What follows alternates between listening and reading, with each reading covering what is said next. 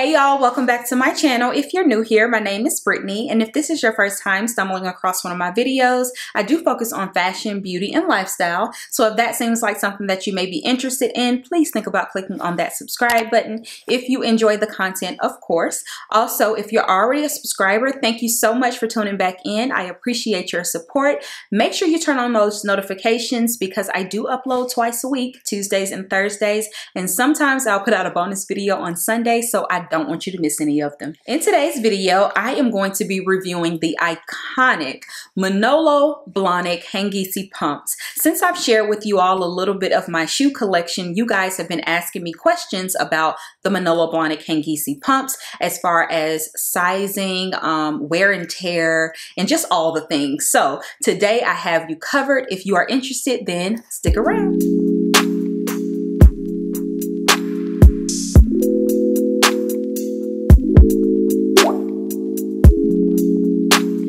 Here are my Hangisi pumps. As you can see, I have a yellow pair and I have like a pinky nude blush pair. And we'll get into all the specs a little bit later, but they are both in the heel height 105. So before we get started on my personal thoughts, I just wanna give you guys some specs and background. So Manolo Blahnik came out with the Hangisi pump in 2008. And of course, they were made very famous by Miss Carrie Bradshaw of Sex and the City um, when Big proposed to her on a second time, girl, in the closet in the beautiful closet with those beautiful blue um, Hangisi pumps in the heel height 105. Um, since then, you know, Manolo Blahnik has created several different fabrics. They're most known for the satin, but you'll find a tweed. Sometimes you'll find like different um, special collections. I've seen graffiti, I've seen denim, different kinds. They also have so many different heel heights, okay? And girl, I didn't even know it was this many heel heights. So they do have the flat version.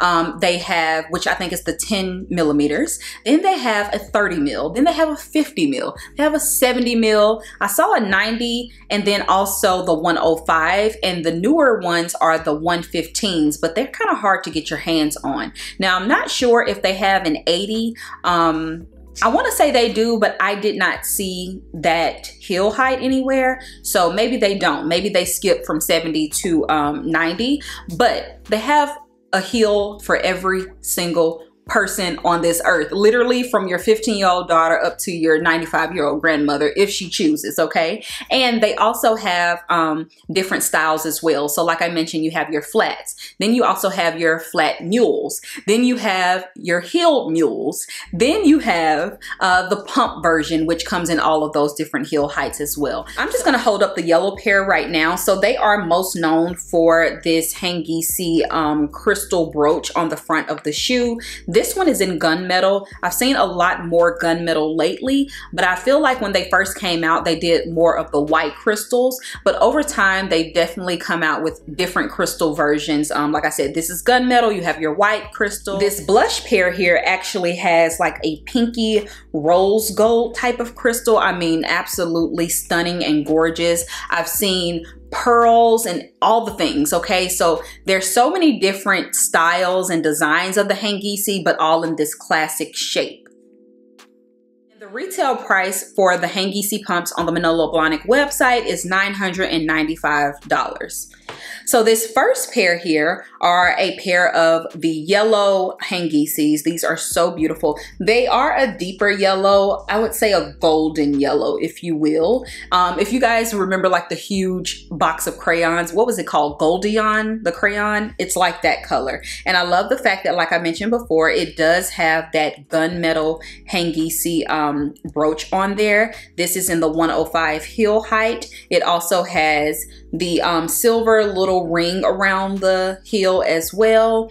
And this pair, 105 heel height. It's in a nice blush pink color with again like that rose gold kind of crystal detailing. Um, it also has a silver ring around the heel as well. Okay, so these are the two pairs that I have and the sizing is completely different on these shoes. So let's get into sizing.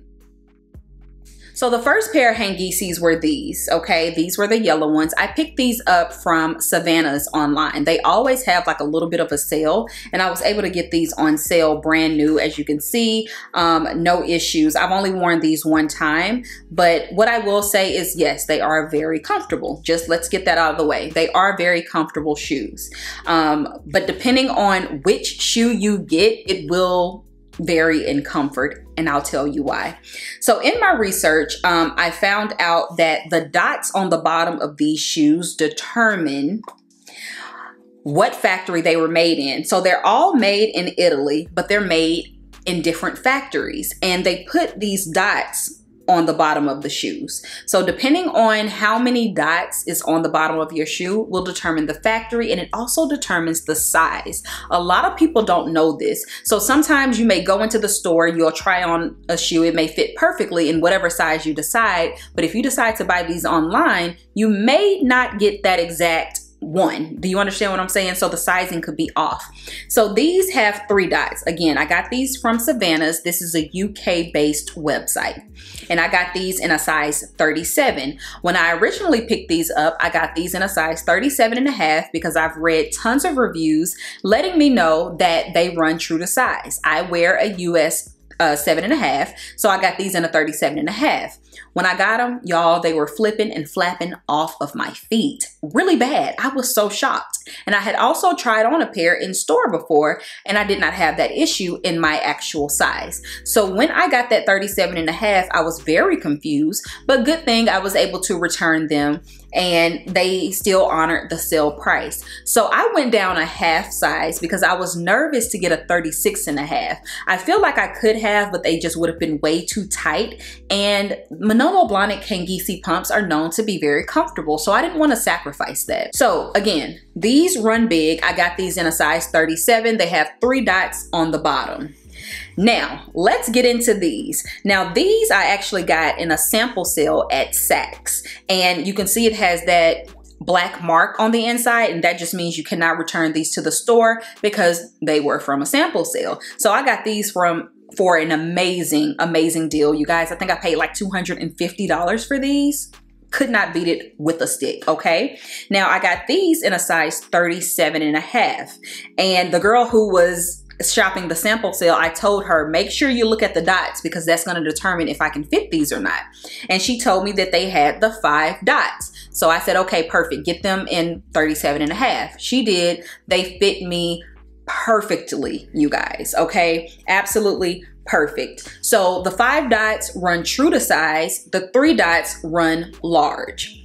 Now, here's my theory. I could be making this up, but I just have a theory on this. So I mentioned earlier that these were purchased from Savannah's, which is a UK based website. Now, my mom has a pair of red Hangisis as well that she purchased from Farfetch and they shipped from Browns. Again, another UK based website. Okay. And when she got hers, she got hers in a 38 and a half and they were, her feet were swimming in them. We're actually selling them. So if you're interested, hit me up because I'm selling them on my Poshmark. Um, but she loved them so much. The color was so beautiful. She still wanted to try it out. She wore them for her anniversary one time and just realized that it was a no-go. The insert didn't work. So, you know, it's it's just the shoe is too big. Again, it had three dots. Now these, like I mentioned, are from Saks. Same heel height, but from Saks, which is US based. And I actually picked my mom up a black pair for Christmas. They were having a sale and they were down to like $500 for they had the black and the blue pair.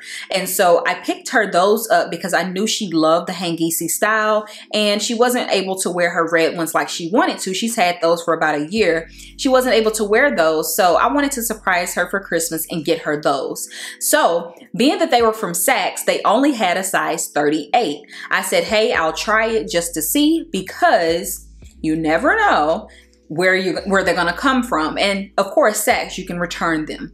So I ordered them. I tried them on myself and girl, they halfway fit. So I knew right away and from the dots on the bottom, they were the five dots. US based store that were these were purchased from, okay? So my theory is that maybe the UK or maybe even overseas sellers pick from one warehouse and maybe the US sellers pick from a different warehouse because anytime that I've tried these on in the US, they fit me perfectly. Anytime that I've ordered online through Farfetch or Savannah's, um, they run large, okay? So keep that in mind. I'm not saying that that is concrete information or 100% correct, but the both times that I've gotten them from Saks, they have fit perfectly true to size. And the times that I have not and gotten them from somewhere overseas, they were too big. Okay, now let's get into the slight differences I noticed. And I'm gonna come closer to you guys because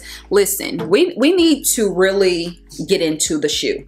Now, the things that I'm probably gonna say are not going to be things that are extremely noticeable. But if you are a pump connoisseur like myself, you notice everything about a pump. And there are certain shapes about pumps that make you love a pump, okay? I'm an original Pigalle wearer. We love the toe cleavage. We love the high arch. You know, the vamp is super low. So things like that I pay attention to, right?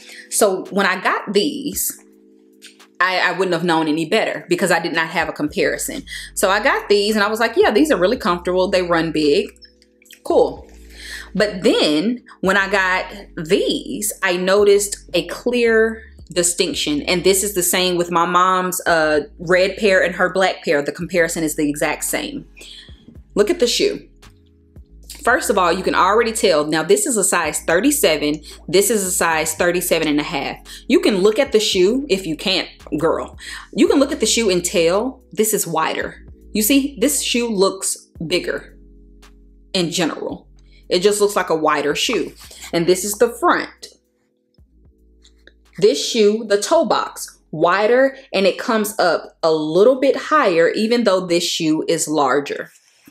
Okay, so that's the first thing that I noticed. And that's the thing that the shoe is gorgeous regardless because it's the it's the style of the shoe that makes it.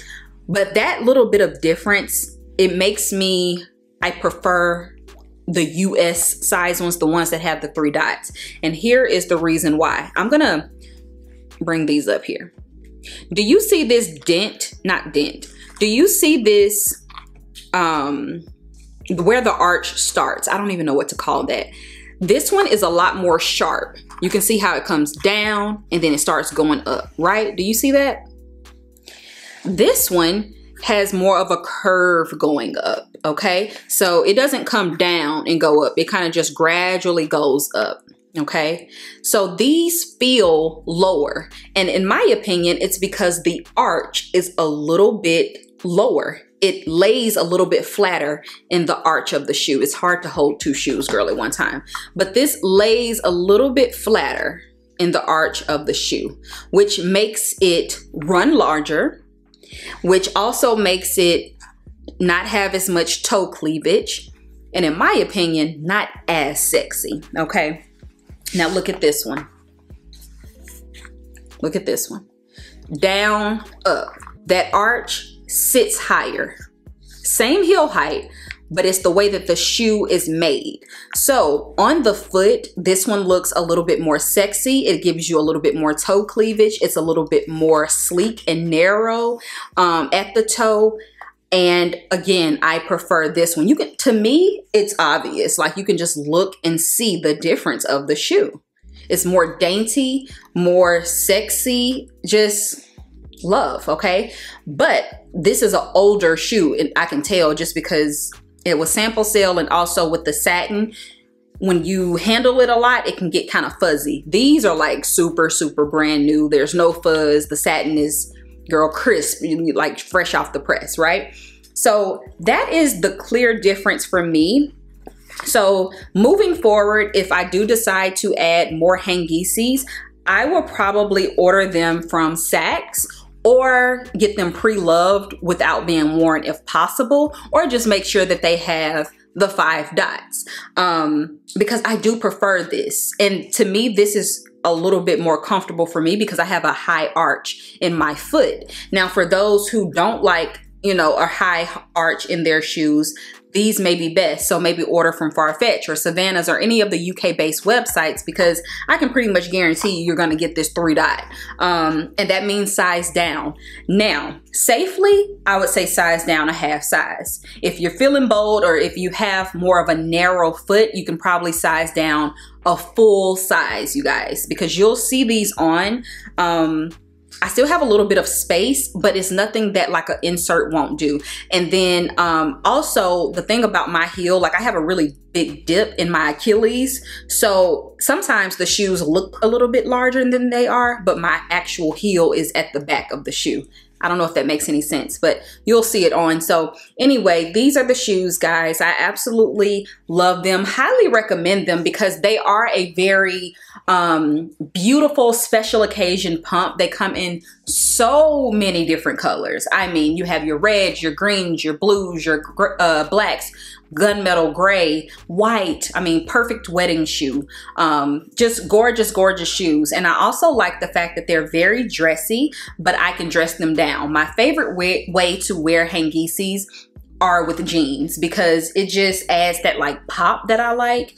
And you know, it's kind of like effortless. Like you just threw these beautiful shoes on, but you're just wearing like a t-shirt and jeans or a white button down and jeans. So absolutely love these shoes, but these are my thoughts, okay? And I feel like I've kind of debunked the myth of Manolo Blahnik. Maybe I ain't the only one, girl. Let me know. I'm, you know, I may be late to the game, but it was a whole debacle with both me and my mom trying to find these shoes that fit us perfectly in our size. Okay. So I want to save you guys that trouble. Um, but I do highly recommend them. They're beautiful, beautiful shoes, iconic. They will never go out of style ever in life. Um, and they're princess shoes. Like when you put these types of shoes on, you just feel happy. And that's exactly what being a woman is all about. It's like those little things that we can do that just really make us feel super magical. You know what I'm saying? So love the Manolo Blahnik Hangisis. Um, you know, I don't know about the other heel heights as far as sizing goes because I only get the 105s. Um, so if you guys know anything about Manolo Blahnik sizing or if you have anything to add, make sure you leave a comment down below. I am totally interested in hearing your thoughts about these shoes. Do you think that these shoes are iconic? Do you feel like these are a must have? Um, doing my research, it just made me fall in love with the brand all over again. And Manolos are known to be very comfortable. I have about five pairs of Manolos in my collection, different styles, um, but I have these two Hangisi. But yeah, guys, that concludes my review on the Manolo Blahnik Hangisi pumps. I hope you guys enjoyed this. I hope you found it helpful. And if you did, please make sure to give it a thumbs up. That really does help me out. It lets me know if you enjoyed this content and what I need to continue to make. Also, if you have any other luxury reviews that you want me to do, put those down in the comment section down below and I will do my best for you. Um, and yeah, guys, thank you again for watching and I'll talk to you on my next one. Bye.